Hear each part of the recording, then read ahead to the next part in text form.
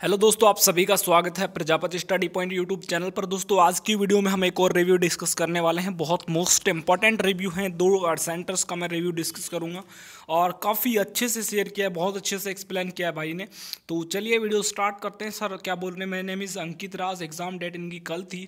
वाराणसी की second shift में इनका एग्ज़ाम था। डॉक्यूमेंट वेरीफिकेशन में इन्होंने बोला कि बहुत को उन्होंने आउट किया। ठीक है कास्ट जिनके पास नहीं था उनको आउट किया। एग्ज़ाम काफ़ी लेट तीन पी स्टार्ट हुआ।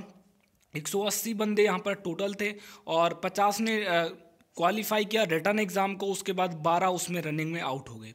I am selected so first of all congratulation right exam easy level का था arithmetic math C I S I question थे मैट्रिक्स से दो क्वेश्चन डिफ्रेंसिएशन से दो क्वेश्चन पोलीगन के चार क्वेश्चन थे सर काफ़ी अच्छे सवाल थे, जैसे कि total sum of angle is सात सौ बीस देन नंबर ऑफ़ साइड्स ऐसे क्वेश्चन तो रामचरित मानस किसने लिखी थी?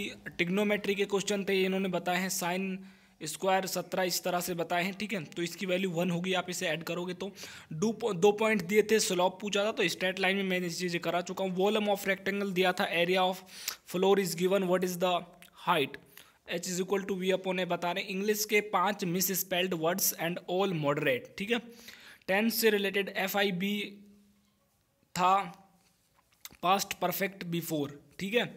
उसके बाद यदि हम बात करें तो परसेंटेज बेस्ट चार क्वेश्चन थे इजी वर्क एंड टाइम दो क्वेश्चन थे और ए की capacity three times both can complete fifteen days तो टाइम एंड वर्क में मैंने सभी क्वेश्चन करा रखे हैं Y is equal to log of cos root X का डिफ्रेंसिएशन वाई स्क्वायर बराबर four A X plus A D Y upon D X find करना किस स्टेट की गवर्नमेंट ने किन्नरों को पेंशन देने की बात बोली है ये क्वेश्चन पूछा है रिसेंटली किस ओलंपिक प्लेयर में इंटरनेशनल ओलंपिक काउंसिल की तरफ़ से आ, सबमिनेंट किया गया है। आगे बात करते हैं। फाइंड ऑड वन आउट पाँच क्वेश्चन थे, तीन क्वेश्चन बेस ऑफ़ इंग्लिश थे।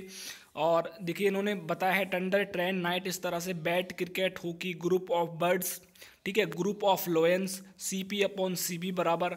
मोनोटोनिक ठीक है? If the radius of planet increase to 89 times then the effective of escape velocity then 17 times बहुत इजी क्वेश्चन पूछे गए हैं। If a stone thrown upward in the then speed reduce the while going video के अंदर मैंने इसको कराया था। Which one is vector quantity इसका एक क्वेश्चन था। तो वेक्टर क्वांटिटी के बारे में तो मैंने नहीं बताया लेकिन आ, मैंने डायमेंशन एंड फार्मूलाज की एक वीडियो बनाई थी। यदि आपने नहीं देखी तो आप देख सकते हैं। Diamond is made of answer graphite no integration question integration से कोई क्वेश्चन नहीं था. Cos inverse cos pi by four is equal to ये भी मैंने सॉल्व कराया हुआ था. लास्ट ईयर भी मेरा यही था but unfortunately unfortunately I was final merit out तो ये भाई ने अपनी पिक भी शेयर किया. Thanks to Prajapati study point so welcome भाई. इस तरह से इनका जो रिव्यू है वो रहा है. काफ़ी अच्छे से इन्होंने रिव्यू शेयर किया है. तो नेक्स्ट बंदे का रिव्यू भी हम देख लेते हैं. सो so, ये कैंडिडेट शेयर कर रहे हैं. भोपाल का रिव्यू पंद्रह अक्टूबर को मॉर्निंग में सात बजे रिपोर्टिंग थी मेरी पंद्रह अक्टूबर काफ़ी पहले का कोई बात नहीं 200 प्लस स्टूडेंट्स थे और 191 सेलेक्टेड 199 का एग्ज़ाम हुआ 191 का, जिसमें से 39 ने एग्ज़ाम क्वालिफाई मेरा भी क्वालिफाई हो गया तो कॉन्ग्रेचुलेसन भाई को। ट्वेल्थ का मैथ और फिजिक्स थी अबाउट पचास मार्क्स की। पाँच question math C I I mensuration English सात आठ की थी जी के तीन चार रीजनिंग पाँच मार्क्स की थी। कट ऑफ़ चालीस मार्क्स थी, मेरे फोर्टी फाइव मार्क्स थे। हमारे बैच में हाइस्ट मार्क्स फोर्टी नाइन थे। फिर डॉक्यूमेंट वेरिफिकेशन थर्टी नाइन में एट्टीन को घर बाहर कर दिया।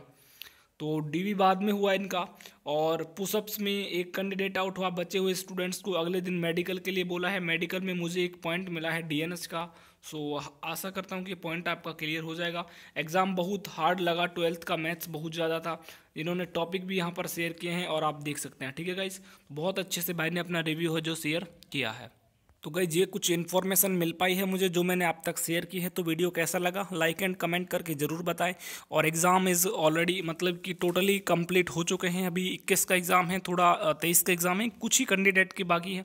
बाकी ज़्यादातर नाइन्टी परसेंट एग्ज़ाम है जो फिनिश हो चुके हैं। सो अब रिव्यू देने की कोई नीड नहीं है, जो कैंडिडेट का एग्ज़ाम है तो रिव्यू शेयर ना करें। कोई मतलब की नीड नहीं है। एक दो रिव्यू में आपको डाल दूँगा। तो वीडियो को लाइक करें शेयर करें। मिलता हूँ नेक्स्ट वीडियो में। तब तक के लिए सभी को जय हिंद, जय भारत।